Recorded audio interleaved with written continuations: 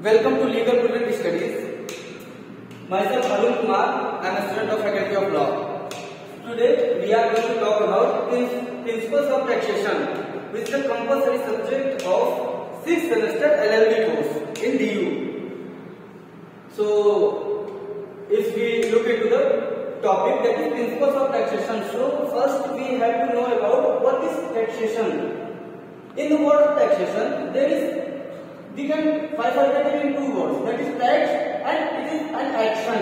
Means tax which is imposed or on that tax that is an action for another by another, another authority. So let let me tell you the meaning of tax. What is tax?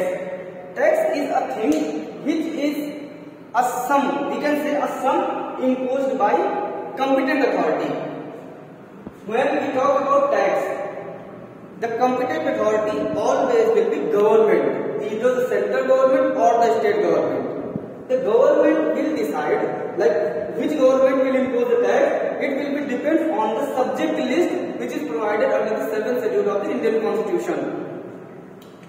Then taxation system in India where we have authority to impose the tax. It has been mentioned under this article of 265 to 289 of Indian Constitution. ठीक है? Uh, like I, I, I told you that tax taxation system in this the government can impose only taxation. So then we can say what is government? Government may be a central government or the state government. Two governments are there in, the, in our uh, parliamentary system. As we know that we have a parliamentary system in India, and to their government, especially the central government and the state government. Then I have told you the meaning of tax. In India, there are two kinds of taxes: direct tax and indirect tax. Indirect tax, example GST. GST, what is GST? GST is an indirect tax which we don't have to pay it directly to the authorities. It is it is services by the government and we have to pay those taxes while we are using those goods and services. Like uh, you are buying a chips packet, on, on that chips packet, GST is included always. You don't need to pay separate tax for your chips packet, your goods. And the another type of tax is direct taxes. The example of direct tax is income tax. Income tax. Now, what is income tax? We will talk about the later the meaning of income tax. But income tax has been provided under Article 246 of Indian Constitution. And it is the subject matter of union list. There, there are three lists in under the seventh schedule of Indian Constitution.